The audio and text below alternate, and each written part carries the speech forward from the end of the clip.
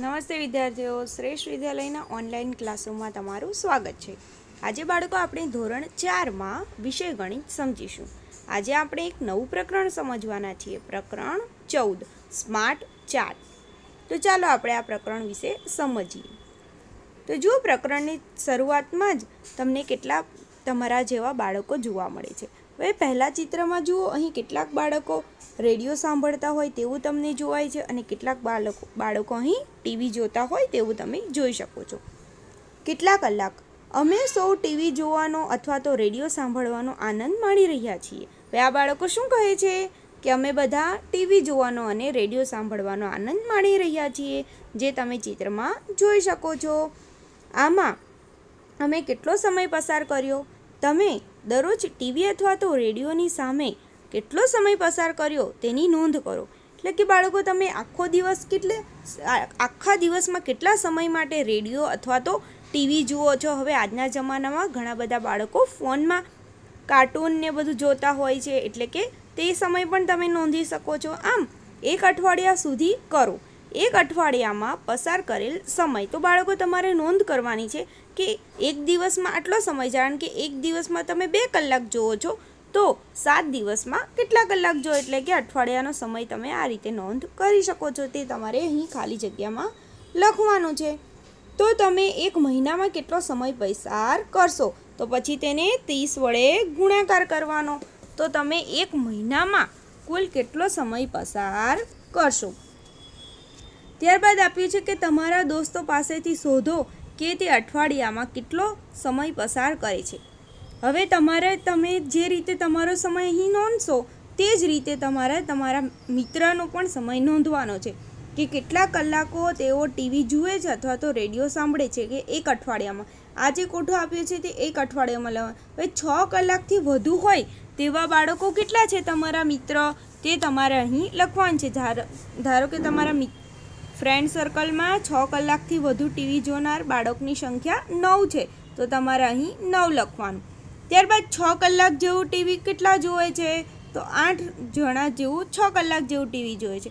આ રીતે તમારે જુદી જુદા કલાકો નોંધ કરવાના છે. ઝીરો કલાક એટલે શું? જે લોકો ટીવી જોતા જ નથી, તે લોકોનો સમાવેશ ઝીરો કલાકમાં થશે. હું ટીવી ચોવીસ કલાક જોઈ શકું. તે મારા માટે સારું કે ખરાબ? હવે જુઓ, આ શું કહે છે કે હું તો ટીવી ચોવીસ કલાક જ જોઉં છું. તે મારા માટે સારું છે કે ખરાબ છે? તો ટીવી ચોવીસ કલાક જોવું એ ખરાબ વાત છે, કારણ કે તેનાથી આપણી આંખો પણ ખરાબ થાય છે. અને આપણને સ્વાસ્થ્ય સંબંધી બીજા રોગો પણ થાય છે. એટલે ટીવી ચો, વધુ પ્રમાણમાં જોવું ન જોઈએ. હવે આપણે આગળ સમજીએ કે તમારા કોષ્ટકમાંથી ટીવી જોવું એટલે, અને રેડિયો સાંભળ, એટલે કે અથવા રેડિયો સાંભળવો તેમાં ખાલી જગ્યાઓ પૂછી છે કે ખાલી જગ્યા બાળકે છ કલાકથી વધુ સમય એક અઠવાડિયામાં પસાર કર્યો. એ કેટલા એવા બાળકો હતા કે જેણે છ કલાકથી પણ વધુ સમય ટીવી જોવામાં પસાર કર્યો? તો આપણે લખેલું ને, નવ બાળકો હતા. ખાલી જગ્યા બાળકે બિલકુલ ટીવી જોવામાં સમય પસાર કર્યો નથી. તો એક એવું બાળક છે જેણે ટીવી જોવામાં સમય પસાર કર્યો જ નથી. મોટાભાગના બાળકોએ ખાલી જગ્યા કલાક અઠવાડિયામાં પસાર કર્યા. તો મોટાભાગના ચાર કલાક, મોટાભાગના બાળકોએ ચાર કલાક અઠવાડિયામાં પસંદ કરી. ચાર જેવા કલાક એ લોકો ટીવી જુએ છે. ખાલી જગ્યા બાળકોએ ત્રણ કલાક કરતાં વધુ સમય પસાર કર્યો. તો એકતાલીસ જેટલા બાળકોએ ત્રણ કલાકથી વધુ જે ટીવી જોવામાં સમય પસાર કરે છે. હવે કયો કાર્યક્રમ?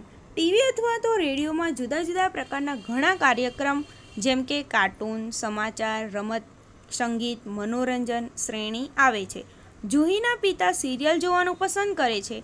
હવે શું કહે છે કે જુહી છે? તેના પિતાજીને સિરિયલ જોવાનું ગમે છે અને તેની માતાને શું ગમે છે? રમત ગમત પસંદ છે. જુહીને સમાચાર કાર્યક્રમ ગમે છે. હવે ત્રણેય લોકોને અલગ અલગ વસ્તુ પસંદ છે. તમારા કુટુંબના સભ્યનો મનપસંદ એક કાર્યક્રમ અને એક કે જે તમને ના પસંદ હોય તેમનું નામ પૂછો. અને તેનું કોષ્ટક બનાવવું તો અહીં તમને કોષ્ટક આપ્યું છે કે કુટુંબના સભ્ય તેમાં પહેલાં લખ્યું છે માતા.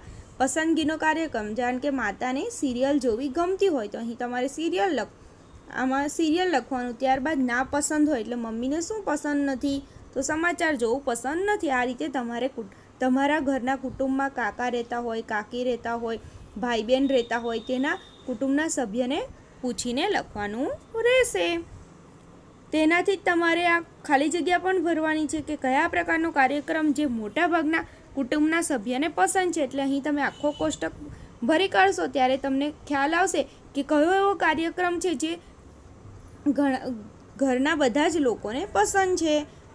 કારણ કે આમાં આવી શકે છે, સમાચાર આવી શકે છે અથવા તો કેટલાક ધાર્મિક સિરિયલો પણ ઘણાને પસંદ હોય છે.